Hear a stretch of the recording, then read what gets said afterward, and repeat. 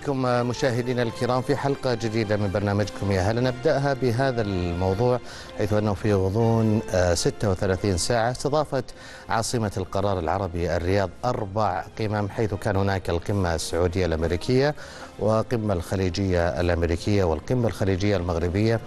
وكذلك اجتماع وزراء وزراء الدفاع في دول مجلس التعاون الخليجي مع نظيرهم وزير الدفاع الأمريكي في ظل حراك دبلوماسي تقوده المملكة بقيادة خادم الحرمين الشريفين الملك سلمان بن عبد العزيز حفظه الله. نتابع في البداية هذا التقرير بعد ذلك سيكون لنا وقفة مع هذا الموضوع.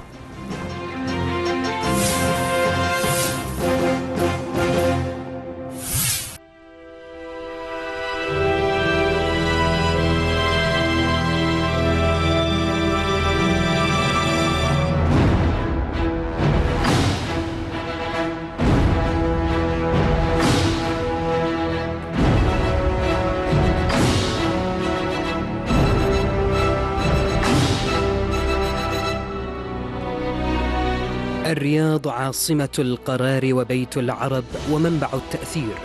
ها هي في اليومين الماضية وفي نحو 36 ساعة تحتضن أربعة قمم كبرى لنتائجها بالغ الأثر على كافة المستويات.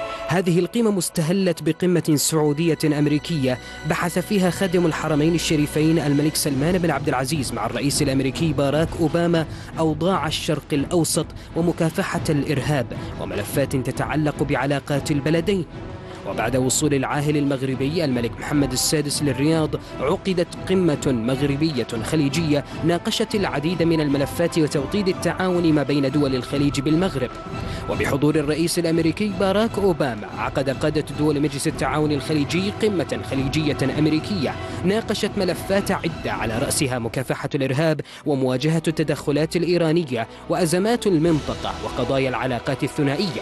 كما عقد وزراء الدفاع في دول مجلس التعاون لدول الخليج خلال نفس المدة اجتماعا مشتركا مع نظيرهم الأمريكي أشتون كارتر بحثوا خلاله التعاون العسكري بين البلدين والعديد من تطورات الشرق الأوسط. ها هي الرياض. عاصمة القرار العربي والإسلامي بتحالفاتها مع دول المنطقة وبحجم الرؤساء والوفود الذين يأتونها من كل حدب وصوب. تثبت للعالم بحزمها وبتحركاتها أن الأمور لم تعد تتحرك كما في الماضي. ها هي الرياض تصعد عاليا في سماء السياسة العالمية كعاصمة محورية. كل أنظار العالم تتجه نحوها.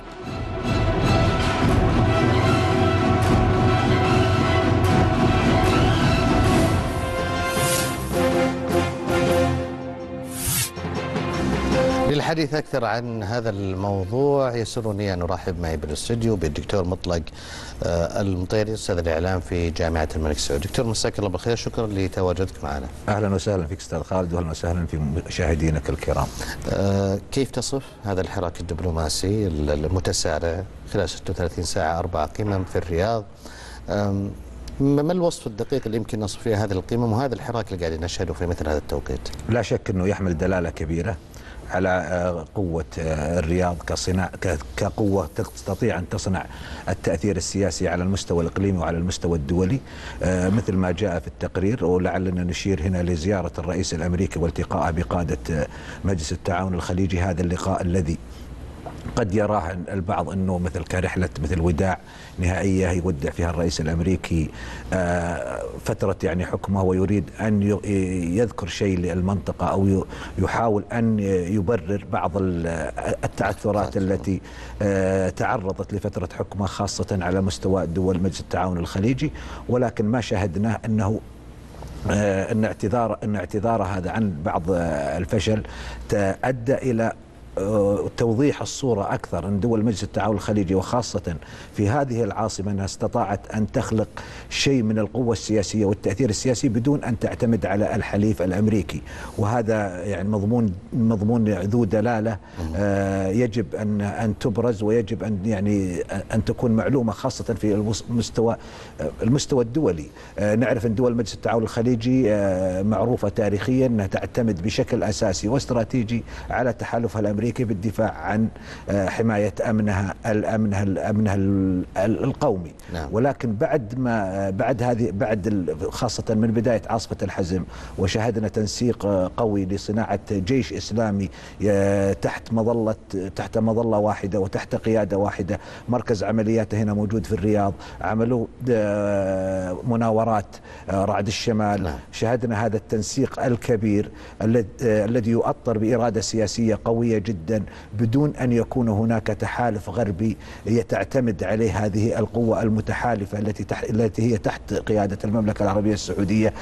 أعطى مؤشر قوي أن زيارة الرئيس الأمريكي لهذه العاصمة ليست زيارة لأجل آه لأجل لأجل تتويج آه تحالف تحالف آه تحالف جديد نحو نحو نحو يعني نحو التصدي لبعض القضايا الكبيرة انما هو محاولة أنه يلفت آه، خاصة أبناء دول مجلس التعاون الخليجي أن الولايات المتحدة الأمريكية موجودة في الخليج أن الولايات المتحدة الأمريكية ما زالت هي الحلف الحليف الاستراتيجي آه، الموثوق به ولكن آه، ما سمعناه من بعض يعني تصريح طيب دكتور, دكتور يعني هذه الزيارة أنت قلت قبل شوي حتى بدأت وصفت ربما هي زيارة توديع يعني بالنسبة لباراك أوباما. الحديث أنه يعني يمكن مقبلين على الانتخابات الأمريكية في فترة قريبة قادمة والتنافس ربما البعض اللي يرى سيكون بين كلينتون وترامب. آه يعني السؤال فيه منه سواء فاز يعني الجمهوري أو الديمقراطي هل تتوقع أنه تتغير كثير من الاتفاقات اللي كانت ما بين أمريكا في عهد آه، يعني أوباما وما بين كذلك دول الخليج؟ أول شيء لا هو طبعا ننطلق من حقيقتين، حقيقتين بعض الاتفاقيات إنها هي ملزمة. م. ولها يعني لها عمر افتراضي ولها عمر يعني تاريخي. يجب أن تأخذ مداها هذه الاتفاقيات وفق ما هي متفق عليه مسبقا، ولكن الإشارة اللي يجب أن أو الشيء الآخر اللي يجب أن نشير عليه أن خريطة التحالفات في المنطقة تغيرت، الأهداف الأهداف حتى الأمريكية تغيرت. كيف تغيرت؟ آه يعني لو سمعنا آه، يعني لو رجعنا للخلف وراء مثلا عندك تصريح واعتقد إنه عام 2013 أو 2013 الرئيس الأمريكي قال سوف يعني هو قال آه، اعلن انه عام 2017 سوف تستغني آه، الولايات المتحدة الأمريكية عن بترول الشرق الأوسط. وهذا الاستغناء سوف يعني يؤديها إلى خيارات سياسية أخرى. تستطيع أن تخدم السياسة الأمريكية بوفق رؤيتها الجديدة للمنطقة وفق رؤيتها الجديدة للمصالح. ولهذا رأينا أن الرياض أنها كيف تحركت آه، بكل قوة وحاولت أن تستخدم كل إمكانياتها سواء العسكرية شاهدنا مثل عاصمة الحزم آه، على المستوى السياسي التنسيق الذي صنع لك آه، تحالف إسلامي. على المستوى حتى حتى المستوى الاقتصادي شاهدنا مثل زيارة خادم الحرمين الشريفين لمصر وهذه المجموعة من المشاريع الاستثمارية للحفاظ على مصر وصيانتها من الانهيار التي قد تسبب ضعف مداخيلها المالية وسبب تدهور الحالة الاقتصادي ونعم ف فنقدر نشير هنا نقول لك أن السياسة السعودية تملك خيارات على المستوى العسكري وعلى المستوى السياسي وعلى المستوى المالي ما يصب كله في مصلحة حماية الأمن العربي. جميل إحنا مكملين الحوار دكتور استاذنك واستاذ المشاهدين بفاصل قصير بعد ذلك لنا عوده.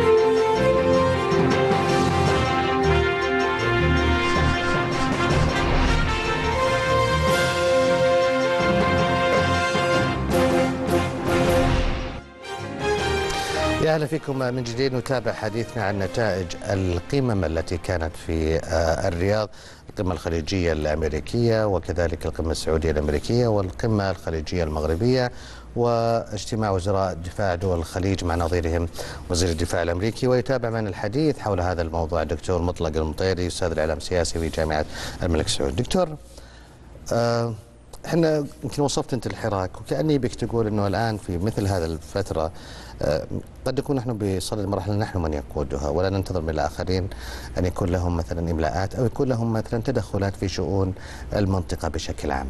آه، الشكل العام للمرحلة القادمة، إحنا نتكلم عن تحديات موجودة الآن، ملفات مهما يكون ملفات يعني خطيرة، نتكلم عن ملف الإرهاب وداعش ونظير داعش من يعني الطوائف الإرهابية الأمر الآخر عندك. ما يحدث في سوريا ما يحدث في اليمن. التدخل الإيراني في شؤون دول المنطقة في تهديدات كبيرة. هل بإمكاننا نقود أنفسنا من غير يعني فعلا الاعتماد على أحد في مواجهة كل هذه التحديات؟ طبعا أستاذ خالد اسمح لي أقول مثل لو نظرنا مثل عندك للسياسة الأمريكية التي يراها الناس إنها متحالفة معنا وهي مساعدة لكل آه، لكل التحديات التي تواجهنا.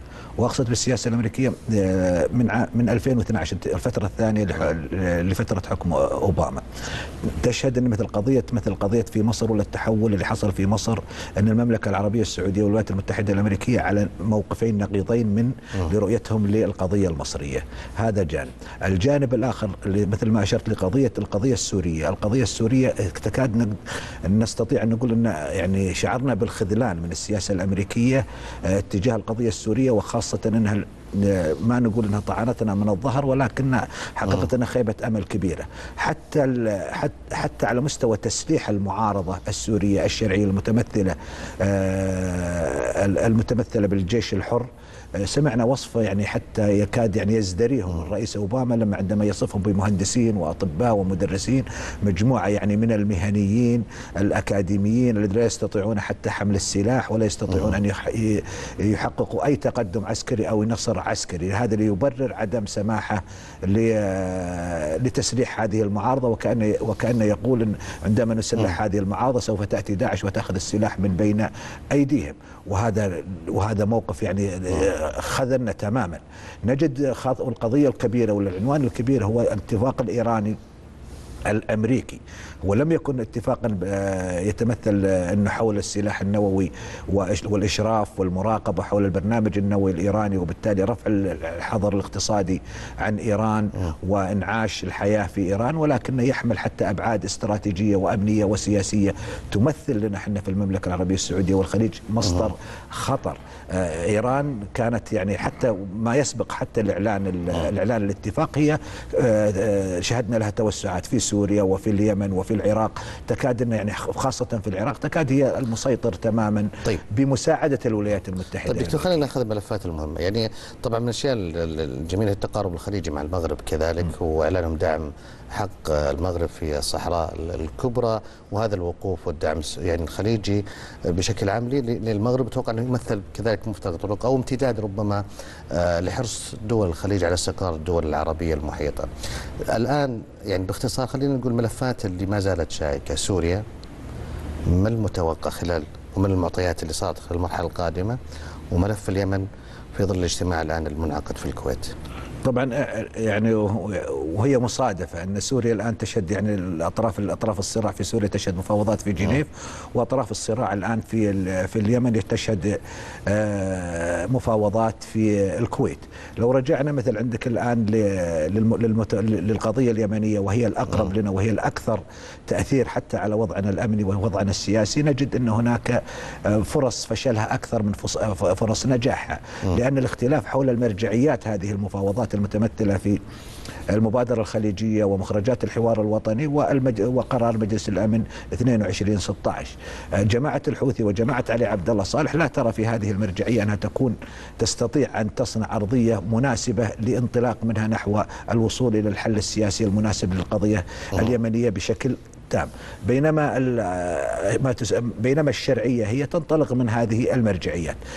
آه، علي عبد الله صالح والحوثي أنهم يرون أن لابد أن تكون هناك حكومة انتقالية وبعدها تأتي ما يسمي ما أعلن عنها إسماعيل آه، المبعوث الامم المتحدة إسماعيل ولد الشيخ أحمد قال انه سماها خمس نقاط تتمثل في تسليم السلاح وتسليم في وقف إطلاق النار وتبادل الأسرى.